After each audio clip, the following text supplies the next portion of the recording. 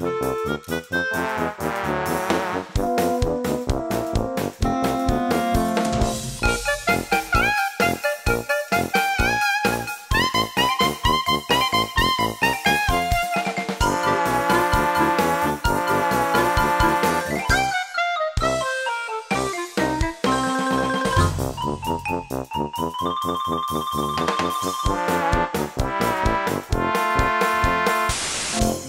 to everybody watching the show today. I'm your host, Stewart Farnaby, and I'm delighted to bring you another fun and always exciting kids show. Three men were trying to get into the bad guys' camp, and the first guy yelled, Hurricane! So all the bad guys flipped around, and then the second guy yelled, Tornado! And all the bad guys flipped around, and he snuck in, and then the third guy yelled, Fire! And all the men started shooting at him. Why can't you tell a secret in the garden? Because corn has ears, potatoes have eyes, and beans talk. now let me give you a look at today's kids show. Maynard and Mrs. V have an experiment with oil and water. Really? Yeah. Nature Pete shows us a salamander. Stubby. This happens to some salamanders. Stan the Pan Man has egg shakers. Well, that's pretty. Mrs. Fox tells us the story of the princess and the pea. Feel a tiny pea. And buckets of fun on the kids show. That's right, we measure it in buckets. well, hippity hoo ha hooray! What a fun show today. Want to hear a joke? What is the coldest part of the North Pole? it's an explorer's nose. Let's see what Maynard and Mrs. V are up to. I'll bet they have some fun to share. To the science lab. Hello, you're back with Mrs. V, and Maynard the lion. Hey, everybody. We're going to do another neat science experiment today. Oh, I can't wait. What do you got in store for us today, Mrs. V? Well, Maynard, have you ever heard the expression that oil and water don't mix? Well, I'm going to show you today that you really can make oil and water mix. Really? Yeah, I'm going to show you how to do that today. Okay, But- okay, So I'm going to use vinegar instead of water. okay. So I put some vinegar in the jar, and then I'm going to add some oil. Mm-hmm. And you know what happens? What does the oil do? Goes it to the top. Does it rise to the top? That's right. Notice what it's done. Yep. We have a layer of oil on top of the vinegar. Mm-hmm. Now, Maynard, do you have any idea why that oil sits on top of the vinegar? Um, is it because it's lighter than the water? It's less dense than the water. Its density is less. Now, how about if I shake it up? Shall we do, try that? Yeah, yeah. Shake it up. Okay, I'll see. shake it up. Yeah. And then we'll see what happens. Do you notice what's happening, Maynard? Do you see what the oil is doing? Is it staying on top and staying on top? There it is. The oil is on top again, isn't it? But I'm going to show you that I can make the mix. Really? Yeah. And what I'm going to do first, I'm going to go ahead and pour this in another beaker so we'll just have a comparison. So we'll pour this oil and vinegar over here in this beaker. So we'll do another setup here. I'll put some vinegar in and I'll add some oil to it. And then I'm going to use something called an emulsifying agent. That's kind of a big word. Emulsifying agent. Right, and that's something that makes us be able to turn oil and vinegar into what's called an emulsion. So I'm going to take an egg and break it into a beaker. This is going to be my emulsifying agent, an egg. Okay. And I'm going to beat it up with a fork. If your moms or dads have ever made homemade mayonnaise, they do something like this. Oh, okay. So we'll add the egg. And now we're going to shake it up again.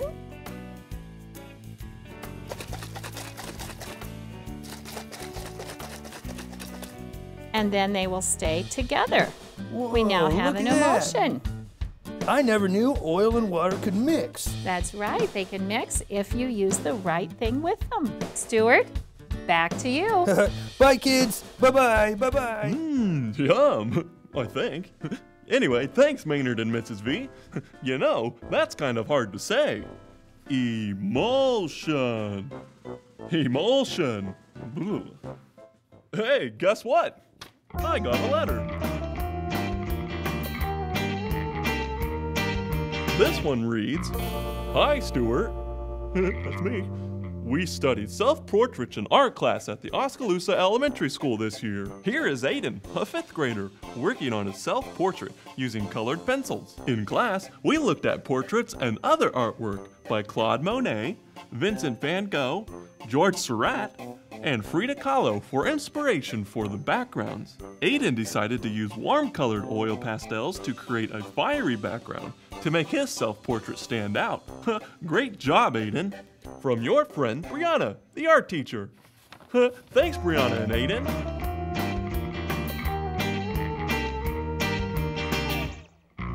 Let's learn about something slimy.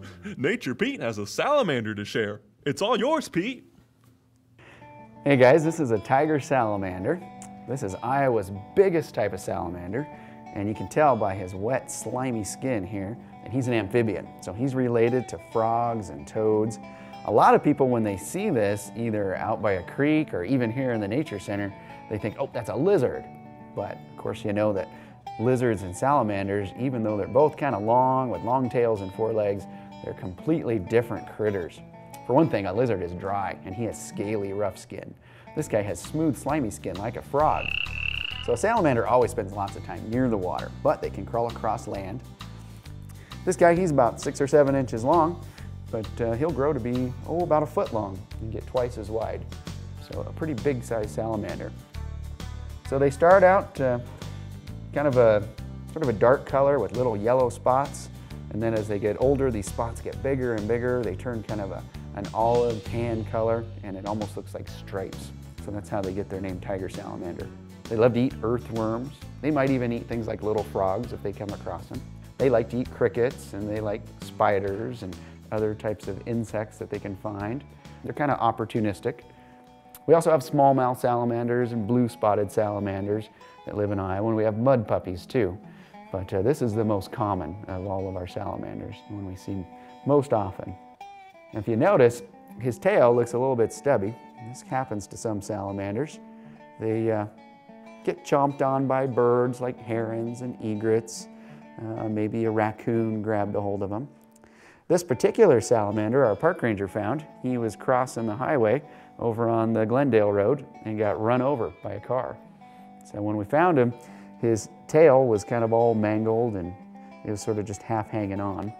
So we fixed him up with some neosporin and a salamander bandage and it healed right up. He lost the tip of his tail, but it doesn't seem to have had any infection and he's doing okay. Oh boy, thanks, Pete. That tiger salamander sure was fun. He's all slimy and whatnot. That's really kind. Uh, uh, hi, Dizzy. Well, hi there, Stewart. Hey, can you lift up your arms? Well, I oh, yeah. so. Well, what are you doing? Well, I'm cleaning because I'm getting ready to make some chocolate milk. Chocolate milk? Yes, I love chocolate milk. Would you like to help me make some chocolate milk? Yes, because I love it too. Good, good. Okay, just a second. I gotta get a glass. Okay. All right, here we go. We got a glass. One glass. Now, to make chocolate milk, what do you think is the first ingredient? Hmm, chocolate milk. I'd say chocolate. Hey, that's right. I love chocolate. Okay, let me get some chocolate. All right. Mmm, Mm, that looks tasty. mm, smell it. Mmm, I love chocolate. Oh, we're gonna make chocolate One, two. milk. Oh, this is good. I like that. All right, we got chocolate in there. What do you think is the second ingredient in chocolate milk? Well, it's called chocolate milk, so I'd say it's milk. No, I need cow juice. Cow juice. Yeah, I got cow juice right here. Uh oh. What, what's Uh-oh. What's wrong? Wait a minute. Oh, you know what, Stewart? I got the wrong stuff. That's evaporated milk. It evaporated. Ooh, that's not wouldn't work. Uh, just a second. Oh, wait a minute, wait a minute, wait a minute. I got some right here. Look, milk. I think this is going to work. Are you ready? I sure am. Okay, we're going to make our chocolate milk. Mm, what, Uh-oh. what, what is that? It's buttermilk. But, Ah! oh, I got buttermilk. buttermilk? That's not going to work. Uh, We need oh, wait milk. a minute, wait a minute. I know what we need. We need brown milk. Yeah. Yeah, brown milk. Just Brown milk. Yeah, brown milk makes really good chocolate milk. Here we go. Mm. Whoa, look at there. Mm, yum. Chocolate milk. I gotta Chocolate stir it milk. up first. Just a second. Ooh. Okay, I'm ready to try it. Mm. Here we go.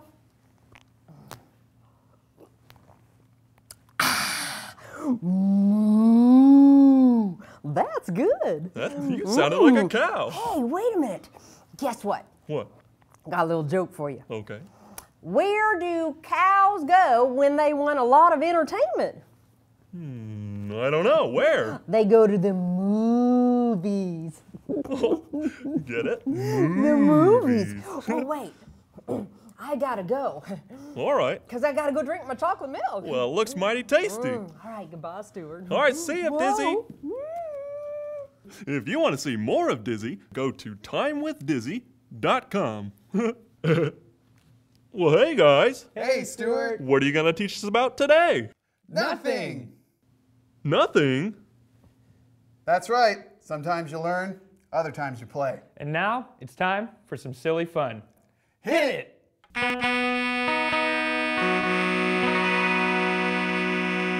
Dance around. Nickel on the ground.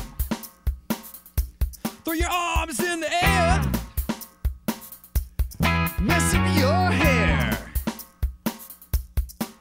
Just make a silly face. Run all over the place. Let's get goofy. How about wacky Oh, insane. and loony?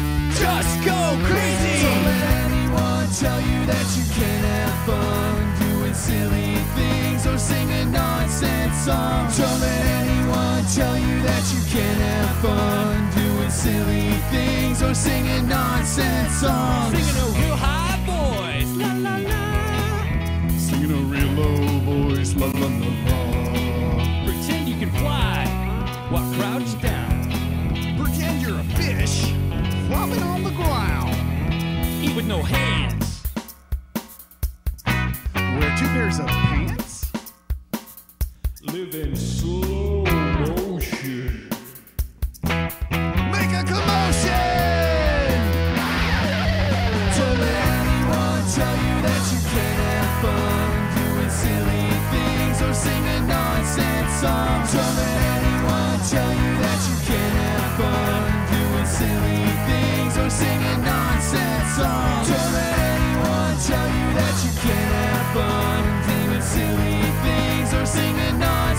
songs. Don't let anyone tell you that you can't have fun doing silly things or singing nonsense songs like this.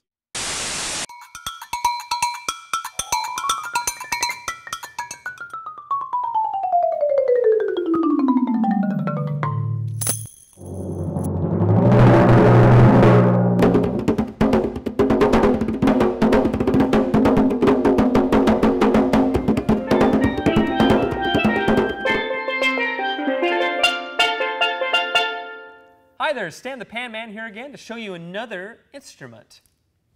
Do you know what this is? Hmm, what does it look like?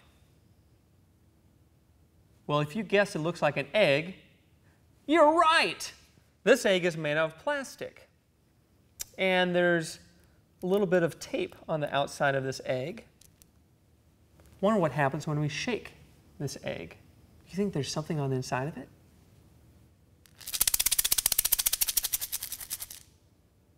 Well, that's pretty neat. This is called an egg shaker. This is a different type of a shaker that lots of percussionists will use to create some different rhythms within their playing. There's lots of different ways we can create sound. Hmm.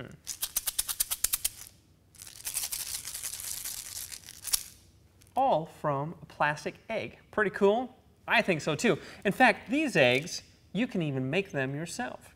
Especially during Easter time, you'll see lots and lots of Easter eggs. Go and pick up some eggs, and you can fill them with lots of different types of variety of materials. You can fill it with rice. You can fill it with, you know, what, what I like to do, I like to use fish gravel in my eggs. They sound pretty cool. Whatever you decide to put in, then I would put some tape. This is electrical tape that I put around the outside of the egg so I can enclose in all these nice shakers, uh, goodies on the inside. So then we can have a really nice sound. So now let's explore what we can do once we've actually made these eggs. What we can do. We can do a lot of things with rhythm.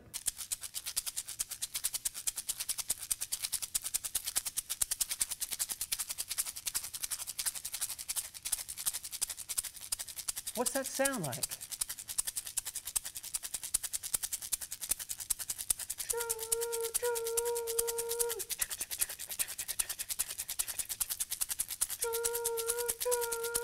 Sound like a train? You guessed it. Wonder what else we can create.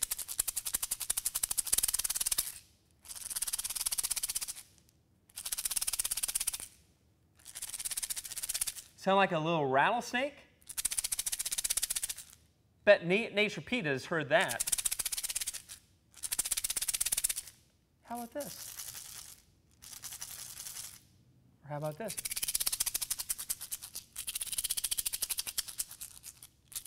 What does that sound like? Sound like a little sprinkler system?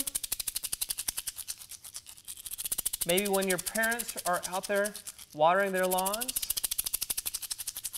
So there's lots of different sounds you can create just by shaking these eggs. Okay, pick up your egg again and go faster, go faster, go faster, and really fast.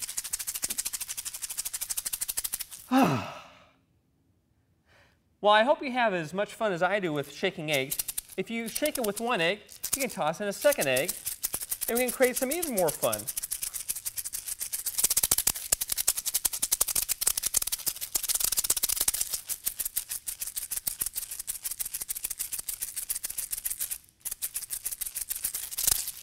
Toss in a couple more eggs. Even louder. A Couple more eggs. Even louder. Even more eggs. We can create a lot of fun. Ah! Ah! Oh, wow, thanks, Stan. I'm gonna try and make some egg shakers as soon as I finish this show. And you should too. But first, a story from Mrs. Fox from the Oskaloosa Public Library. She'll be sharing a story of the princess and the pea. oh, wow, I love stories. Whoopee! Once upon a time, in a kingdom, there lived a king, a queen, and their son, the prince. They were all very happy together, and the prince was so wonderful. He had everything anybody could ever want. He lived in a great big castle. He had all the food and sweets he could ever want, all the toys any money could buy, clothes that anyone would want to wear. But the little prince was never happy. He went around as he grew older and tears would drop to the floor as he walked around. He was so sad. The king and the queen had no idea how to help him. Finally, they sat down with him one day and they found out the little prince was sad because he wanted true love. And so the queen says, Oh my, oh my, what are we going to do? All the young princesses in the kingdom are already spoken for. Our poor prince has no one to hook up with. And the king says, Don't be silly. There's a whole world for our prince to choose from. The prince was settled in his bed. The king and queen were getting ready to go to bed. And there came a knock at the door. the queen said, Who could that be? and the prince jumped up and he ran down to the door. Sure enough, as he opened the door, in came a wet, bedraggled little girl. Oh! The prince's eyes lit up as he saw this wonderful young lady. As the queen came down and saw what was happening, she says, Who are you and why are you out on such a wet, stormy night? Oh, I'm a princess and we were on way traveling down the road and lightning struck our carriage and I was the only one to survive. You are a real princess?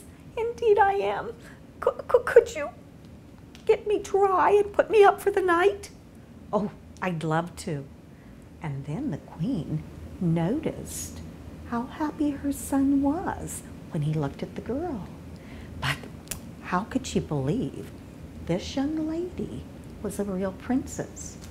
As she went to make a bed for the princess to sleep in, she decided that to test a real princess, she would put several mattresses on top of the bed and she would put an itsy bitsy, teeny weeny pea right underneath the bottom mattress.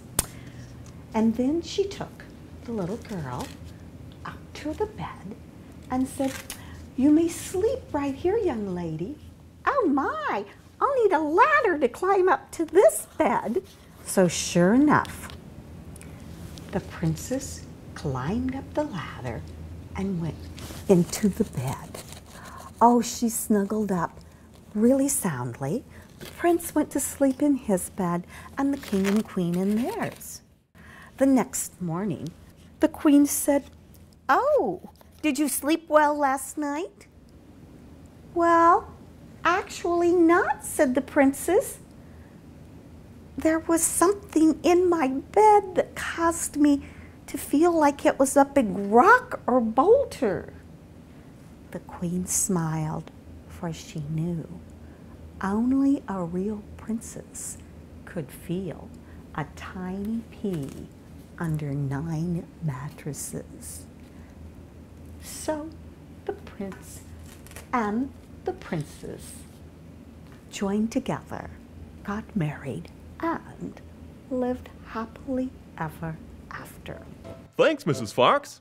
you know, if you want to go see Mrs. Fox tell a story, you can. Have your parents contact the Oskaloosa Public Library for more information. Let's play a game. Guess what the picture is before time runs out. Ready? Okay, let's play What's That? Hmm. Think real hard now. Oh, I'm sure you've seen this before. It's an egg. It's time for Moments to Remember.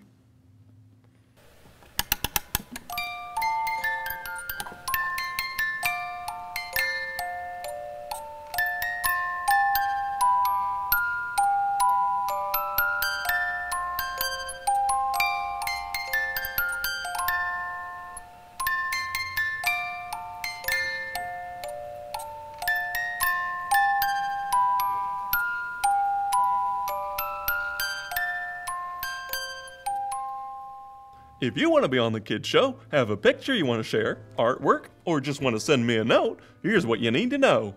I'm Stewart Farnaby. I live at 105 High Avenue West in downtown Oskaloosa, Iowa. 52577. You can call me at 641 676 3400 or send me an email to info at criwmpenu.org. Remember, my friends, treat others as you wish to be treated. Goodbye, everybody. So long. Ta ta. See you next time. Adios. Ciao. Farewell. If your moms or dads have ever made homemade mayonnaise, they do something like this. Oh, okay. He lost the tip of his tail, but it doesn't seem to have had any infection, and he's doing okay.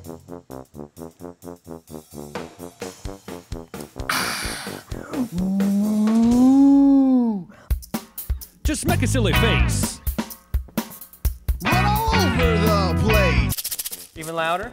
A Couple more eggs. Even louder. Even more eggs. We can create a lot of fun. Prince was so wonderful.